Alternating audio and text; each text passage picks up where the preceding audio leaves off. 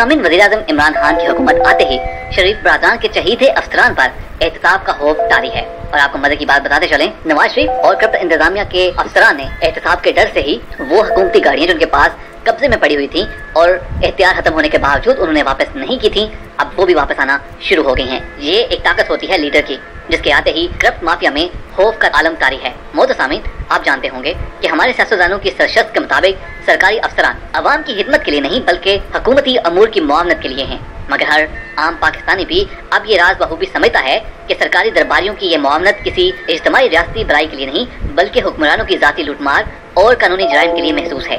اسی معاونت اور خدمت کا حصہ ہے کہ ملک کے اسی فیصد اعلانیہ اور غیر اعلانیہ محاصل پر جائز و ناجائز طریقے سے سرکاری ملازمین یعنی بیوروکریسی ہڑپ کر جاتے ہیں۔ یہ سرکاری بابو بہت سیانے ہوتے ہیں۔ حکومت کی نفس کے ساتھ چلنا بہو بھی جانتے ہیں۔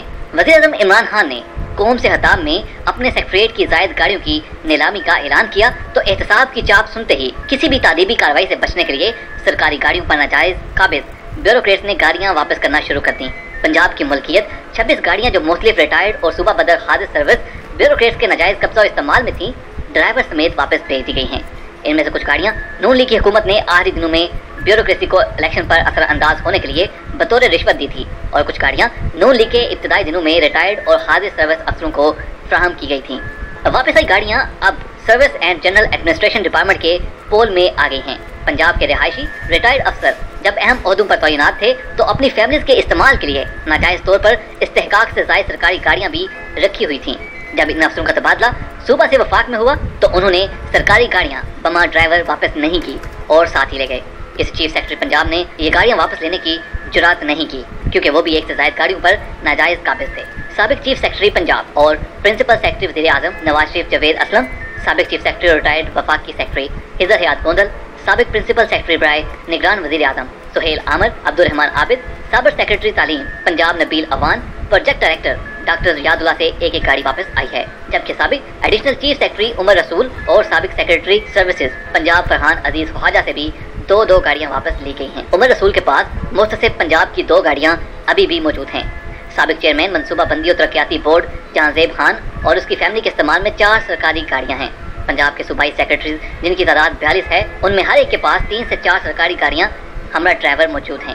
ان گاڑیوں کا پی او ایل بی سرکاری خزانے سے جاری ہوتا ہے یعنی اس کے اخراجات اور اس کا پٹرول بھی ہمارے کھاتے سے جاتا ہے، جس پر ماہانہ کروڑوں روپے لاگت آتی ہے۔ جبکہ کسی بھی صوبائی سیکرٹری کو ایک سرکاری گاڑی پما ڈرائیور پٹرول استعمال کرنے کی اجازت ہے۔ Service and general administration department کے ایک سینئر اہلکار نے بتایا کہ جب ریٹائرڈ اور صوبہ بدر سرکاری افسروں نے سرکاری گاڑیاں واپس کی ہیں، ان سے سرکاری خزانے کو ہونے والا کروڑوں کا نقصان بھی وصول کیا جائے جو فی گاڑی ایک لاکھ روپے ڈرائیور پٹرول و کرایہ مہانہ بنتا ہے۔ اس کے علاوہ تیس افسروں سے سرکاری ڈرائیور بھی واپس بلائے گئے، جن کی تعیناتی ٹرانسپورٹ پول میں کی گئی ہے۔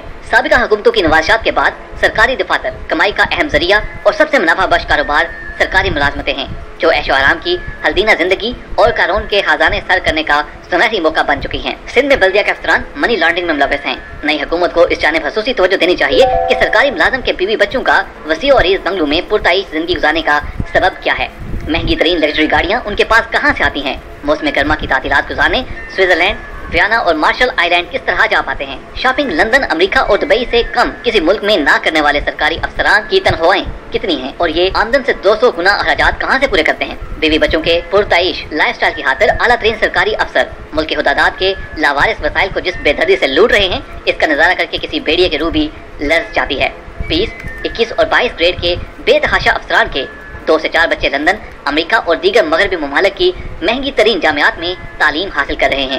جن کے ایک ایک سمیسٹر کی فیس پچاس ہزار ڈالر سے لے کر ایک لاکھ ڈالر تک ہے۔ جبکہ ان کے افسر والدہ یا والد انیسویں بیسویں گریڈ کے ملازم کے طور پر ماہانہ ڈیڑھ سے دو لاکھ روپے تنہا وصول کر رہے ہوتے ہیں۔ ان ڈیڑھ سے دو لاکھ میں ان کے گھر کے دس لاکھ کے اخراجات بھی شامل ہیں اور سالانہ پانچ سے دس کروڑ بچوں پر بھی خرچ ہوتے ہیں۔ تو سوچنے کی بات یہ ہے کہ اتنا پیسہ وہ کہاں سے بنا رہے ہیں؟ اس پر بھی ایک کمیشن بننا چاہیے اور جتنا پیسہ پاکستانی عوام کا لوٹا گیا ہے، سارے کا سارا واپس آنا چاہیے۔ ہم یہ عمران خان سے ڈیمانڈ کرتے ہیں کہ ہمیں ہمارا پیسہ واپس دلایا جائے۔ اور اگر انہوں نے یہ سارا پیسہ واپس لا دیا، تو پھر ہم زندگی بھر ان کا احسان نہیں بولیں گے۔